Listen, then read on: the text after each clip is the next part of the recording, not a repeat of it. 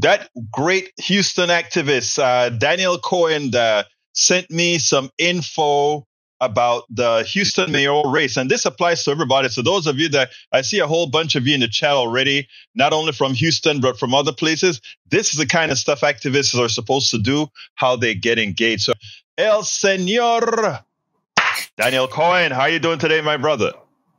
I'm good, my brother. How are you, my friend? I am doing fine. I'm doing fine. You know, as as as we speak, I am ripping that audio that came out of the Who's show again that you told me about. It's Michael Berry, which if anybody listens to Michael Berry in most cities, if you had a Michael Berry, they would, you know, push him off the air. And here in Houston, it's really a big problem with right-wing radio where we need to call out what these people are talking about because they're consistently misogynistic, racist, xenophobic, anti-gay, and outside of the mainstream of not just Houston but the United States. Uh, and that's exactly what this clip shows today as well. It's a mayor's race, which we're gonna we're gonna talk a little bit about today. But and I have it ready for you.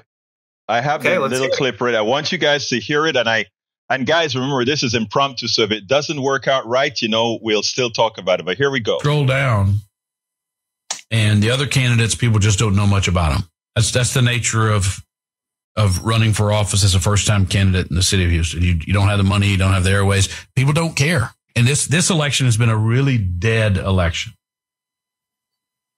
51% of likely voters hold an unfavorable opinion of Sheila Jackson Lee, 41% very unfavorable.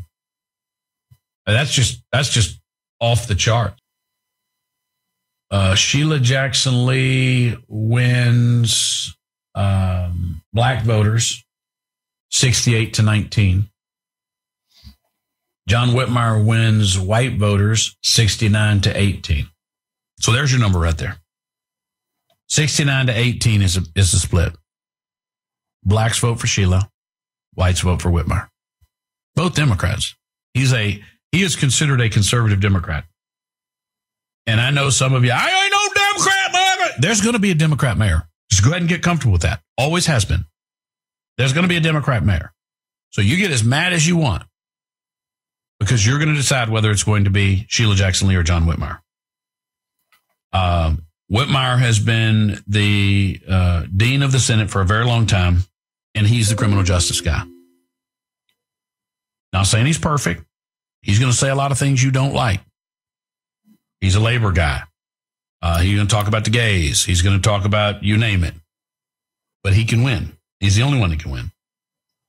But I know that Democrats got mad at him a few years ago when they were demanding that there be more air conditioning in the state prison system because the inmates had filed a lawsuit that they needed to be cooled off. And he said, if you want air conditioning, don't commit crime. That's the best you're going to get out of a Democrat. Before you get too mad, understand this. I've run for office three times in the city of Houston and won. I ran for mayor and lost. I've been around campaigns since 1989. I understand the demographic. It is a vastly Democrat district. You can run a Republican against Sheila Jackson Lee in her congressional primary. You can do it. But I know the numbers.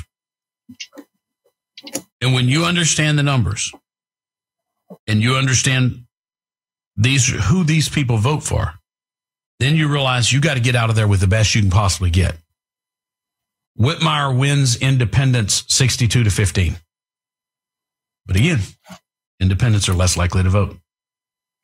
Sheila Jackson Lee wins Democrats 59 29. Whitmire wins Republicans 82 to 1. if Republicans show up and win, Whitmire wins without a runoff. I mean, if Republicans show up and vote, Whitmire wins without a runoff.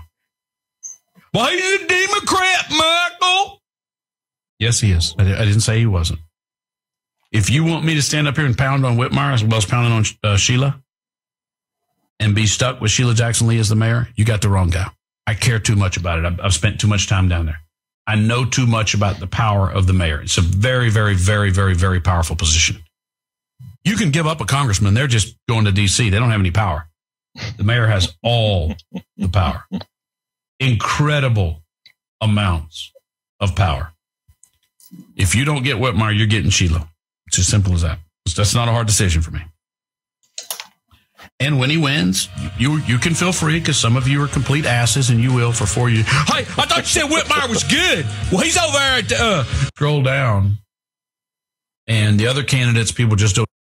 All right, uh, that's what I wanted folks to hear. In effect, uh, he admits uh, he admits da- Daniel that he's a conservative. In other words, that Cohen, not Cohen, I'm calling your name, that Whitmire is a conservative. No, Cohen is not a conservative. That Whitmire is a conservative. In other words, what Berry is saying is that we are going to elect in a progressive city, we are going to elect, use the machination of a turncoat Democrat to elect a conservative into office. Take it away, Mr. Cohen. Oh, there's all kinds of terrible context that surround all of this different stuff. I mean, first of all, I mean, just straight up for anybody that's wondering, if you want to put it in a nutshell, Michael Berry threw his weight behind John Whitmire in the mayor's race. So that's that's the first. That's I mean that is that's an endorsement that anybody should run away from like the plague.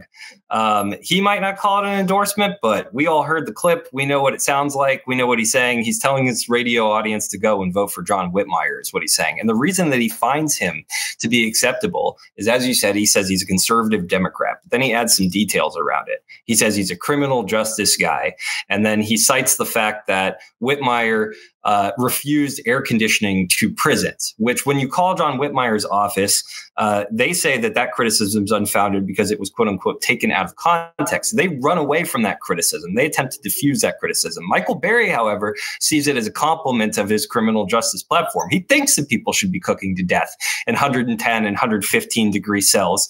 And in addition to that, Berry has been one of the ringleaders when it comes to spreading misinformation about the cash bail system. Uh, specifically, he has been pointing at judges in cases where the judges' hands were tied by the Texas legislature on specific cases. And he never mentions the real culprits when it comes to the bail issues, when it comes to felony bail. And I want everybody to know about this because I think it's very important because Republicans never like to talk about this. Mm-hmm. Bail bondsmen. The bail bondsman industry is backed by big insurance, as are many other industries that Egberto, you of course have railed against over and over again. Right, all of, all of the uh, the problems with our healthcare system. The insurance industry supports all of those issues. They support all of the issues when it comes to our criminal justice reforms or criminal justice reform issues in our criminal justice system as well, because it takes you have to raise ten percent of the money to get out of prison for a felony bail. So what what bail bondsmen do is they go and they broker a deal and come up with a payment plan and they take a first payment that sometimes is like 1%. And then they turn around and they know all the tricks of the trade to lobby their way out of ever paying for a bond if somebody doesn't show up one way or another to begin with. Now, personally, and I think there's a lot of evidence to show this, the cash bail system doesn't do anything for anybody. If you're wealthy, if you're part of organized crime and you can raise a million dollar bond, you can get out. If you're poor, you don't get out. It doesn't matter whether or not you did it. It's a matter of whether or not you're rich or poor, period. And so it doesn't keep anybody safe. And there's plenty of studies to show that. The Quattrone study uh, shows that and it came out just earlier this year that it saves better resources related to public safety and that it has no impact on public safety specifically. And that in fact, it decreases recidivism if if you have misdemeanor bail reform. It was specific to misdemeanor bail reform, but we're also seeing good results out of Illinois right now, um, which have actually prevented some of the really wealthy mm-hmm. people from who were actually found guilty from paying their way out and at the same time made sure to preserve resources on people that were slapped on the wrist with petty offenses. And it keeps them from getting put back into the system over and over again and bleeding the system dry of our dollars. These dirty bail bondsmen that michael berry likes to prop up have absolutely got to go from this system. Whitmire is not going to get rid of them. Michael berry is on board with that and that's why michael berry supports john whitmire as the mayor of houston because he supports a broken criminal justice system. He is the chief defender of that broken criminal justice system. And Berry is on board with that system. He just wants to rip people apart. He wants to punish people. He wants to be dumb on crime. He wants to be hard on families. And this is the stuff that's not being talked about in this election as much as it should. But hopefully we do our best. We start talking to people and make sure that it comes up because there's going to be a runoff and there's several weeks here for people to hear about it. So when you all go to the polls, you keep this in mind. Michael Berry's thrown his weight behind John Whitmire, and this is the same people. All of the all of the Alex Mealer cabal is basically now on board with John Whitmire, the Mattress Macks of the world, the Richard Weekleys, and now the Michael Berrys. That's your media, that's your fundraisers, that's your entire Alex Mealer machine. So the MAGA machine backs John Whitmire in Houston. Period. The end. Now, here's the thing, because I want you to restate that again and again, uh, Daniel, because he when, whenever you ask him about it, including I don't know if you remember when I called when uh, uh again I sent the email to PBS and they asked him the question that I asked. He tried to disassociate disassociate disassociate himself from having anything to do with uh, with these guys. He, he, he gave the impression like I am just somebody who likes to work with the other side. When the other side has no intention of working with Democrats, they may have intentions of working with him, but working with him got the passions and the policies of Democrats absolutely nothing. So if he's working with them and saying he's successfully working with them, that means he is a part of them, given that nothing comes back. Is that right or wrong? Uh, I think it's definitely right. So, a couple of key facts that that will give you a bigger picture of all of this. Uh, John Whitmire is the only Senate committee chairman in the Democratic Party in the Texas State Senate because Dan Patrick knew that he could give John Whitmire a state on the committee and he would vote in alignment with him. Either it was ideological reasons or horse trading or whatever it is, it doesn't matter. The point is that they're actually aligned. And that's an issue because Dan Patrick is an extremist who takes Nazi cash and has voted for the most right wing policies of any. Repeat that because a lot of people don't believe that he actually did take three million dollars. Explain that real quick for for our audience. Well, so anti Semitic billionaire Tim Dunn, who told the former Republican Texas House Speaker Joe Straus that he believed only Christians should be in leadership positions, which means no Jews in leadership position, no Muslims in leadership position, and so on and so forth, um, gave money to defend Texas Liberty. Defend Texas Liberty is associated with a consulting firm called uh, consulting firm called Pale Horse Consulting. And Pale Horse Consulting is run by Jonathan Stickland. Now, Stickland hired uh, a mask off Nazi named Ella Maulding. You can look at her telegrams and her Twitter and see all the anti Semitism that she's spoken about over the years. And they brought Nick Fuentes in, along with Chris Russo from Texans for Strong Borders. And the more that journalists keep pulling at this web, the bigger the network and the thread uh, becomes of different white supremacists who are involved in the Texas Republican Party. Uh, there have been several good um, journalists who have done work on this at the Texas Tribune, Texas Monthly, as well as an independent journalist over at a, a, a blog called Turtle Diaries. Very well documented, pictures, links, everything. It's, she's got the receipts, she's got citations as all these different groups. Matt Rinaldi, the head of the Texas Republican Party, has been working with some young Republican groups uh, that they've agreed to certify as members of the Texas Republican Party. And there's now actually a civil war that's broken out over lots of these things within the Texas Republican Party. Party. Um, all of the Texas Republican Party has issues that touch this different stuff, uh, but some of them don't really want to be seen as mask off Nazis. And so they've actually written open letters and things like that to some of these people. But Dan Patrick received $3 million and he was pressured for that. And what he did at first was he denounced Nick Fuentes, the white supremacist, mm-hmm. and but said he wouldn't give up the money. Then they asked him about it again, and he said that he was going to buy Israeli war bonds, which means he's war profiteering because that's going to come back. He's exactly. going to make more money off it. Exactly. Right? Like he's, he's going to make more cash off that.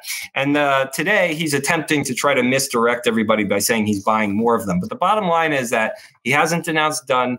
He has not denounced this entire network. He just used Fuentes. Stickland got fired. They tried to replace him with Luke Macias. Luke Macias has had on apparently had allegedly had ongoing text threads with um, Nick Fuentes, and that's out there as well. And he has a long history of racism and white supremacy and all the same talking points. So yeah, Dan Patrick takes Nazi, Nazi cash. Um, he owns a radio station here in Houston. If you listen to his radio station, they regurgitate of the wildest talking points you've ever heard um, about cyber soldiers and you know COVID conspiracy theories and you know right other right wing theories and all kinds of different stuff. So th- this is these folks don't see this race as nonpartisan. Anybody who thinks this race is nonpartisan is naive because it's kind of like when you see something as a fair fight and the other person doesn't, right? It doesn't. That means it's not a fair fight. Exactly. You can want want. You could want it to be a nonpartisan race if you want to, that, oh, everybody's just doing the governance and it's above board. But that's not, if one side doesn't see it that way, that's it. There's no more the symmetry. Problem, the problem is, is that it makes a lot of Democrats by voting for a Whitmer seem very, very naive, and and it's like you. It, it is almost like the way Donald Trump got elected. It's because we fell we, we fell on uh, on on silliness. The same thing is happening with electing Whitmer. It's like we told you so. John Carter uh, said he's joining us from uh, in, uh, from London. Jo- just joined from London. Whitmer is not only a conservative, he pals around with those who are actively trying to overturn our elections. He cannot be trusted with our progressive city. I agree 100%. Michael Berry really shouldn't have an audience. He shouldn't really even be on the air. He shouldn't be treated as mainstream because he's an extremist. He's fringe. And he's supporting John Whitmire for mayor. And when extremists support people for public office, that means that that person showed them that they would be willing to compromise and make room for their positions in public office. And that's a problem for anyone who's not an extremist. I want I want to stop you right there because that is a key phrase that you just said there. When an extremist sees something in you that they want support you, we should all run. It says it says something we spend a lot of time deconstructing the news, trying to trying to parse it into a form that everybody can understand. We try to find those little nitpicks where uh, it goes, it flies above the fray, etc. If you really like these videos that we do, I want to ask a big favor. Please go ahead. Number one, subscribe to our channel, and number two, please join if you can. Thank you so kindly for watching. Keep watching. Please remember to share. We must populate the entire internet with our progressive message, a message that we know is what most Americans say that they want. So help us, please join.